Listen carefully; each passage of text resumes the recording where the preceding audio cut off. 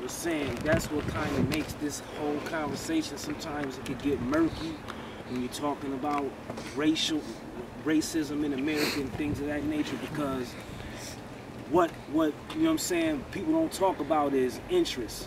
Some people, you know, that might share your face don't have the same interest for equality or for laws to be changed and things of that nature because like you said they're comfortable. They mm-hmm. situation they, they their, their personal interests are being met.